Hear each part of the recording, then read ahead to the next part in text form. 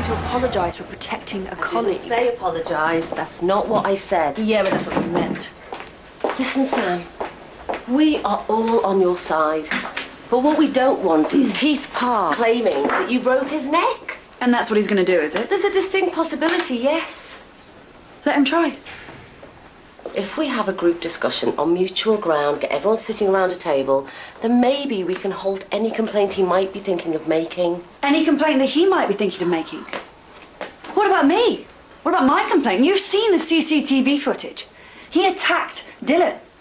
I want him charged for assault. Sam, you're not That's thinking this through. You're no, not no, no, no. thinking- That's exactly what I'm doing. And this little discussion that you and Mr. Jordan had planned, I can see the outcome. So Dylan's some rampant witch hunt with me being burnt at the stake. That is not what's going to happen. And you can promise that, can you? Mum. An ordinary coffee, not a chai latte or a skinny capu, just an ordinary coffee. Are you lingering for a reason? Do you want a coffee?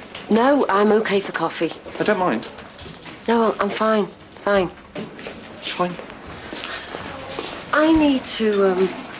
Well, it's about our friend Mr. Parr, Mr. Parr. Mr. Parr? the man who tried to punch him in the staff room. Oh, I thought he'd fallen off the face of the earth. No, quite the reverse. Is it an all right time to talk? Yes? Well, there's a chance that he may try to sue the hospital. Dr. Keogh, we have a patient expected. His C-spine fracture could be a result of Sam's assault. So, assault. Sam's assault. Right. Is this our patient? Yeah, Mike Harrison, 49 years old, complaining of chest pains and vomiting. ST elevation, GTN, 300 of aspirin, 10 of metoclopramide and 10 of morphine. BP's 130 over 80, pulse 80, stats at 95% on it. Okay, over there. Thank you. Oh, hello. He's arrested. This out the way. Can I do something about that? Yes? Yes, I will get Peter. Yes, Mr. Park. Yeah, I'll talk to you later. No, no, no, come on. I thought women were meant to be the multitaskers. Okay, VT, I'm going to need to shock. Okay, charging. Oxygen clear, everyone clear. Shocking. Got pulse. Good. Carry on. You keep him under obs. If anything changes, do let me know, and preferably before there's a crisis. Whoa! Hmm. Maybe you should wear scrubs. But because of clumsy nurses, we all have to dress like lab technicians. So, Keith Parr, What about him? There is a distinct possibility that he may bring an action against the hospital and maybe Sam. What, because he tried to punch me? So, we want to try and get a group of us around a table, including hospital management, yourself, Sam, with representation if she wants it, with this Parr chap around a table to discuss it, you know? And Sam doesn't want to do this, presumably. Hmm. His discussion wasn't a strong point in our relationship. Yeah, well, wouldn't really know about that, would I? So, we'd like you to take her aside and maybe just have a word and tell her that discussion's the best way forward. No. I'm sorry. Absolutely not.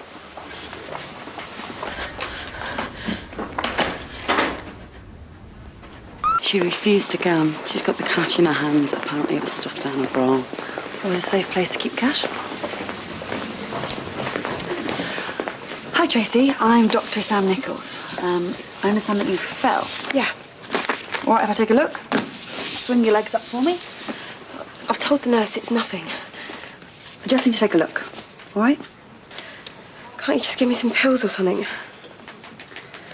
Okay. So you have pain in the chest and stomach area. What about your arms? Do they hurt? Pretty nasty bruising you've got there. Well, they do a bit. Do you mind if I take a look at your legs? Yeah.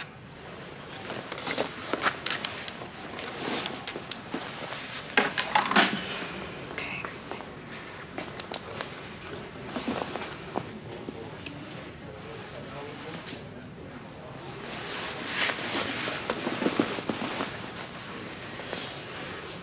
Tracy, are you sure you fell? Where's Mummy? God, that's my kids. Dean? Dean, in here. Trace, Trace, what the hell happened? I just had an accident. You okay? Yeah. They're not keeping you in, are they? Hope not. We just need to do a few x-rays. I'll arrange that for you now. Thanks. See what I mean? Bruising, abrasions, classic sexual assault injuries. And she's wearing no underwear. You need to get her in a gown, and I need to talk to her again when her husband and kids have gone.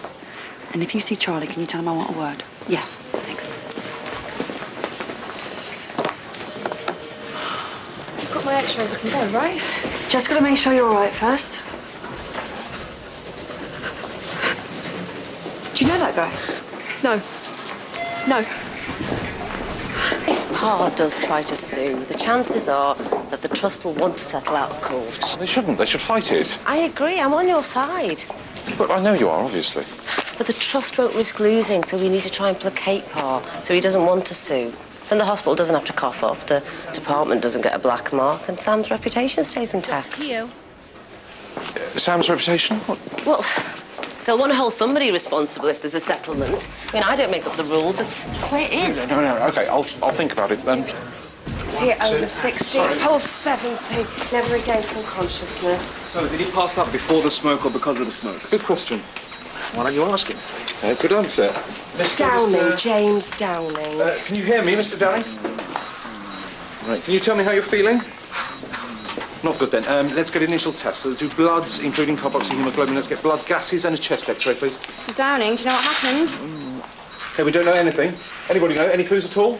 Uh, can you tell us your date of birth, Mr. Downing? All this stuff was in the hotel room, it got smoke damaged. Right, well, we could do with more than that. Can we uh, have a look for some history, please? If his GCS drops below 10, will you let me know immediately? We're the only crew working today. It was Charlie's idea, so I should get myself a wingman. And I'm it. Yep. So if I do this for you, will you consider sitting down and talking to Mr. Parr? Nope. Hi, Tracy. This is Dr. Hanna. Zoe. I've told her all about your injuries, and she'd like to take a look. But you've already seen him. I I just want to get out of here. And I promise you, we'll get you out of here as soon as possible. Well, can we go on a ward then, away from here? Just waiting for your x-rays. Well, we'll be moving you to cubicle soon, so that'll be a change of scenery. The man that came in on the trolley. What about him? What's wrong with him? Why? Thought you said you didn't know who he was. Well, I don't. Well, I didn't, but, but now I think I do. Who's this? Uh, the guy's in recess. Was he here? He passed out and they're trying to find out why. Will he be all right? I don't know, I'm not his doctor. Tracy, can I have a look at your chest and your stomach, please? No. Well, I just want to double check. You've already taken the x-rays. You can look at them. What are you scared of, Tracy? Dr. Nicholls said that you've got some bruising that could have been caused from an assault. Oh, that's not true.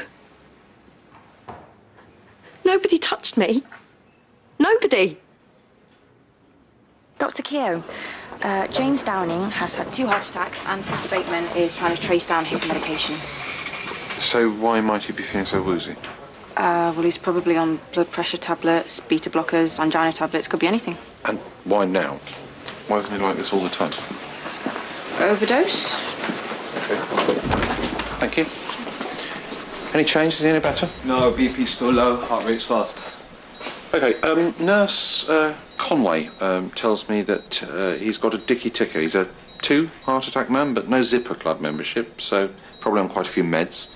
Her current thinking is that he may have overdosed on one or more of these meds. Her current thinking. Yes, doesn't she normally do current thinking? Uh, it's not that. I just wondered why he would suddenly OD. Yes? Uh, stress? He could have been stressed about something. I'll buy that. Okay. Let's run an ECG, a troponin, uh, keep him on the oxygen, increase IV fluids, and let's see what we get. Oh, just one more thing, Dr. Keogh. Uh, I noticed that his address is in Holby, so I was wondering why would he be staying in a hotel less than two miles from his home? It's on fire today. Who cares? I don't. Leave that to the council tax people. Oh, sorry. I mean, I, I, I'm not entirely sure where he was, um, but, I- but I'm sure you can ask him when you get here. Yeah. Is, is that okay? All right then. Thank you. Bye bye. Everything okay? I think I just made a huge mistake. Oh, it's probably nothing. I just told a patient's wife that her husband wasn't where she thought he was. You can't be held responsible for other people's lies. Yeah, but if I'd have, if I'd have just thought, I would have realised something wasn't right. How? The paramedics picked him up from a hotel less than two miles from his house. So? Well, he'd been staying there for three days. It kind of doesn't take a genius to work out he was up to no good. It's not your fault. You just gave her the facts.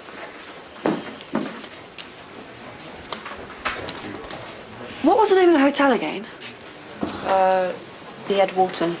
And name of the patient? James Downing. Thanks. Lloyd, can you deliver a message to Dr. Lyons for me and say that his lorry driver may be over the limit, so he might get a bit upset? Right. You have got four broken ribs, Tracy. Now, we can manage them with painkillers, but you will have to stay in overnight. I have to get back to work. Sorry. And we still need to identify how your injuries happened. I told you a million times I fell. But we know that's not true. It is true. We believe that something awful has happened to you. And if it did, then you need to tell us.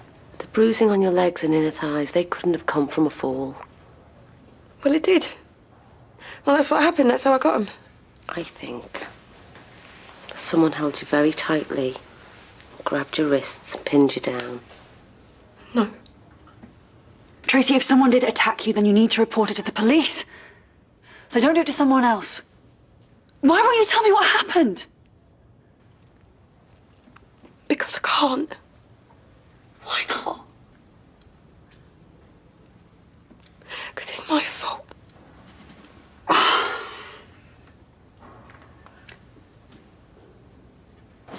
Here, this is Mr. Danny's GP of all his meds, the usual ones, bisoprolol, candesartan, GTN, simvastatin, aspirin.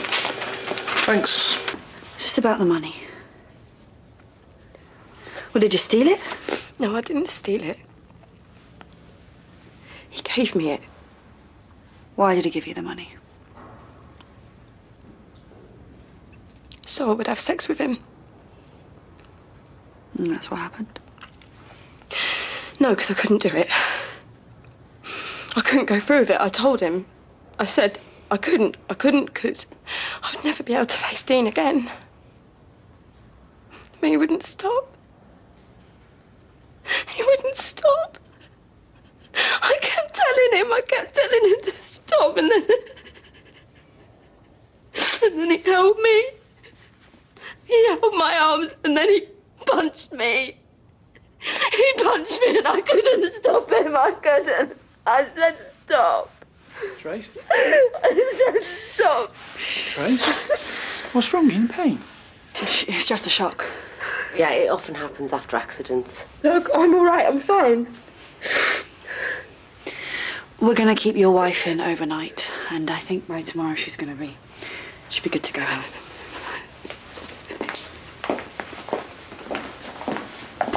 Everything okay? Uh, yes, I'm just running some tests, waiting for the results to come back. Okay. Hello, Mr. Downing. How are you feeling? Not, uh, not very good. Dr. Keogh? Mrs. Downing's just arrived. Oh, uh, right, send her in. She might give us the clue as to what's wrong with him. Okay.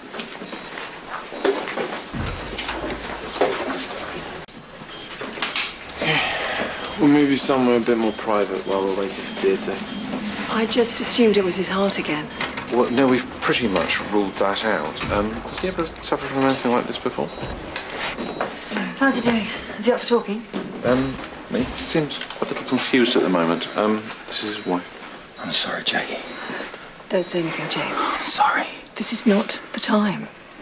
His BP's rising, but his pulse is still falling. Um, how are you feeling at the moment? Are you, any headaches at all? Oh, um. Uh, yes, yes. Uh, it's getting worse. Was there any sign of a head injury? Uh, we did check. We didn't find anything. I'll call CT. Mr. Downing, did you ever bang to your head at all? No, nothing happened. What do you mean? Nothing happened. I swear to you. You promised me, James. Please don't leave me. You promised me. I was at a convention. What convention? Nothing happened. Nothing happened. He's speaking!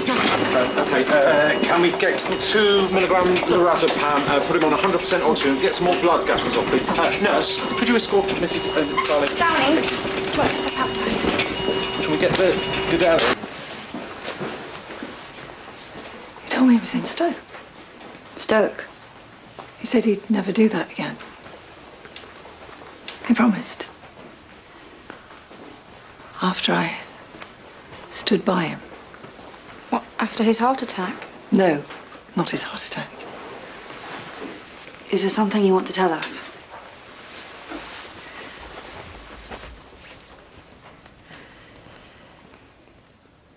Eighteen months ago, after lying to me about where he was, after taking a hotel room the other side of Holby, he was accused of attacking a prostitute.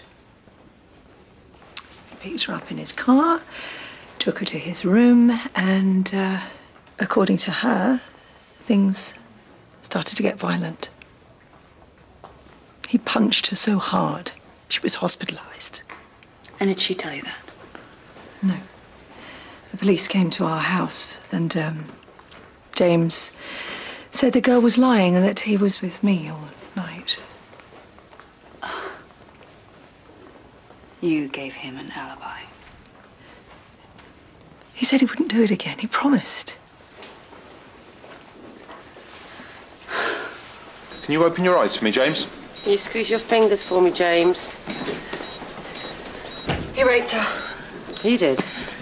Yep, he's done it before. That's not the problem at the moment. We're losing him. There has to be something. What are we missing? Just, just give me a minute. You better go soon.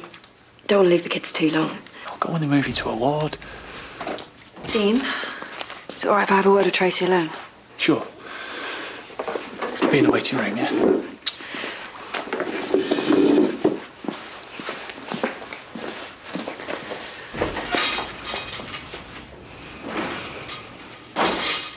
We know who he is.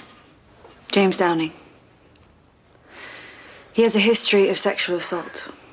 His wife just admitted it. Now, if he is the man who raped you, then you need to report him to the police. I took money from him. Well, you said no. I took money for sex. No one's going to care that I said no. They'll just think that I'm a slut. The police, everybody.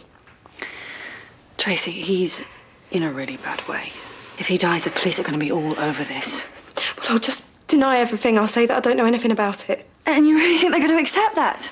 Tracy, your boss saw you walking out of his room. When you were alone with him, what happened? What was it? I hit him. With a lamp. Where? On the back of the head. Look, I thought he was going to do it again, so I hit him. Okay.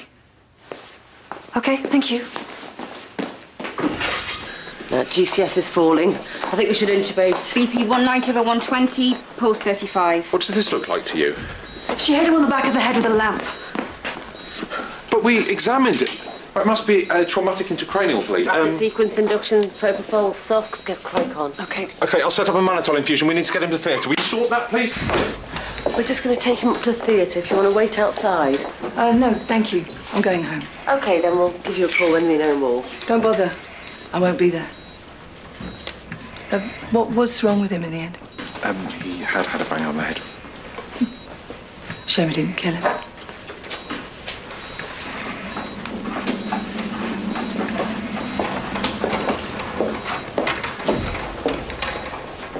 Will he live? Yeah.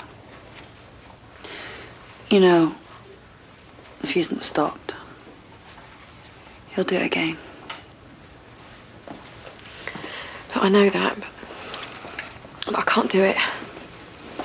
It's Dean. He'll never be able to take it. Well, then isn't it better if he hears it from you? Look at me. He loves you. He'll hurt for you. Oh my God, he'll want to protect you. Together. We'll get through it. Is it all right if I come in? Yeah.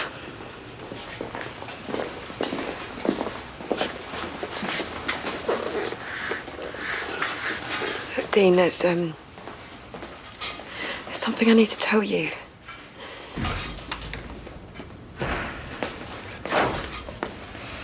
If you're thinking to yourself, did I do the right thing, just remember this. At some point, the police would have found out and all of this would have come out. Just just can't get past the idea that he raped her and yet she's the guilty party. Keith Parr attacked me. I know it. You saw it. And some things just don't work out for the best, and everybody would hate it if it worked out badly for you. And how would that work out badly for me? A tribunal could find against you. Believe it or not, nobody wants to see that happen. It's crazy. Well, welcome to the 21st century. Dylan. Look, we could get together, sit down, work it out. At least this way, there's a chance he'll believe her.